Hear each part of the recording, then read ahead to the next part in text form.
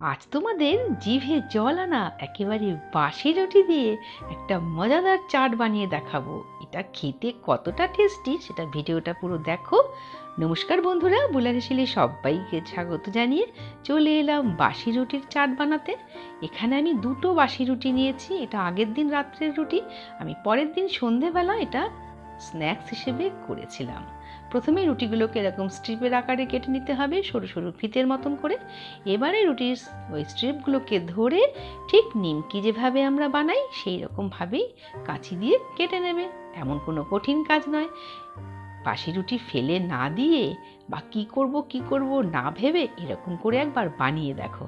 দেখো রুটিগুলো সব কাটা হয়ে গেছে, এবারে তেল গরম বসিয়ে দিয়েছি, মাঝারি আঁচে রেখে এগুলোকে দু মিনিটের মধ্যেই কিন্তু একেবারে মুচমুচে নিমকির মতন ভাজা হয়ে যাবে। বাসি রুটি দিয়ে এমন একটা লোভনীয় রেসিপি আগে কেউ খেয়েছ? যদি না খেয়ে থাকো রেসিপিটা পুরো দেখো, একেবারেই ছোট ভিডিও, একটুখানি দেখেই চলে যেও না। খুব ভালো লাগবে। তোমরা একবার হলো এটা বাড়িতে ট্রাই করো। আর আমাকে জানিও কমেন্ট করে কেমন লাগল। এইভাবে আমি নিমকিগুলো বা রুটিগুলোকে ভেজে নিলাম। সবগুলো তো একবারে হয়নি। আমি দুবারেই এগুলোকে ভেজে নিয়েছি। খুব তাড়াতাড়ি এগুলো ভাজা হয়ে যায়। আর বেশ মুচমুচে। এইভাবে দুটো রুটুকি ভেজে তুলে নিয়েছি। এবারে একটা চটপাটা জিভে জলানা মশলা বানাতে হবে। সেজন্য পেঁয়াজ কেটে নিয়েছি মিহি করে। দিয়েছি স্বাদ অনুযায়ী কাঁচা লঙ্কাও কুচি। দিয়ে দিলাম সামান্য পরিমাণে ধনে পাতাও কুচি। এবারে এর মধ্যে দিয়ে দেবো বিট লবণ। এখানে আমি বিট লবণ ব্যবহার করেছি সাদা লবণের বদলে। দিয়ে দিলাম চাট মশলা। পরিমাণ কমিয়ে বাড়িয়ে নেবে। এবারে দিয়ে দিলাম লাল লঙ্কার গুঁড়ো। এটা তোমরা ইচ্ছে হলে স্কিপ করে গোলমরিচ গুঁড়োও দিতে পারো।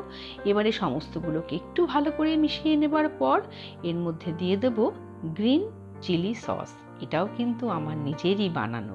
এটারও রেসিপি দেওয়া আছে আমার চ্যানেলে এরপর দিয়ে দেব টমেটো সস এটার জন্য তো আরও জিভে জল আনা হয়ে যাবে। এরপরে আরও একটা জিনিস মেশাবো, সেটা দেখলে তো জিভে জল আর ধরে রাখাই যাবে না।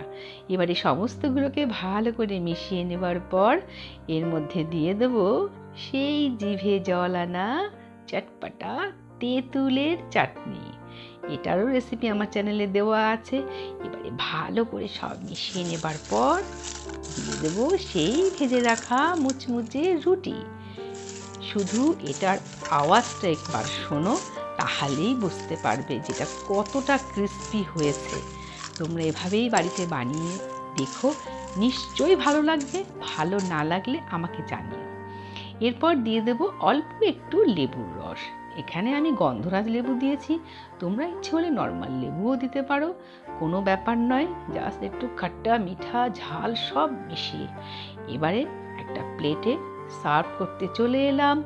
এর ওপরেও কিন্তু আমি আরও কিছু জিনিস ছড়াবো, সেটাও দেখতে থাকো। আর রেসিপি ভালো লাগলে লাইক কমেন্ট আর শেয়ার করতে ভুলে যেও না। বন্ধুদের সঙ্গে শেয়ারও করো আর সাবস্ক্রাইব করে আমার চ্যানেলের পাশেই থেকো। ভালো লাগলে নতুন বন্ধুরা এসো। পুরনো বন্ধুদের জানাই অনেক ভালোবাসা। আমি ওপর থেকে কিছু পাঁপড় ভেজে রেখেছিলাম আগেই। সেই পাঁপড়টা দিয়ে দিলাম। এটা অপশনাল ইচ্ছে হলে দিতে পারো, নাও দিতে পারো। এরপর দিয়ে দিলাম আবারও একটু পেঁয়াজ কুচি, আবারও সামান্য ধনে পাতা কুচি। যদি ঝাল খাও, এক্ষেত্রে আবারও একটু ঝাল দিতে পারো। তারপরে দিয়ে দেবো। ইচ্ছে হলে কেউ এখানে ঝুড়ি ভাজা ব্যবহার করতে পারো। আমি এখানে ঘরে থাকা কিছু চানাচুর গাঠিয়া সমেত সেগুলোই দিয়েছি। অসম্ভব মজাদার টেস্টি একটা রেসিপি যেটা কিন্তু কোনো রেস্টুরেন্টে পাওয়া যাবে না। এগুলো বানাতে হলে ঘরেই পড়ে থাকা জিনিস দিয়ে বানাতে হবে। আর ওপর থেকে ছড়িয়ে দিলাম আবারও সেই তেঁতুলের চাটনি। উফ, এটা খেতে যা দুর্দান্ত হয়েছে, তা তোমাদের আর কি বলব? তোমরা একবার বাড়িতে ট্রাই করে আমাকে জানিও কমেন্ট করো। সবার জন্য রইল অনেক ভালোবাসা। সবাই ভালো থেকো সাবধান।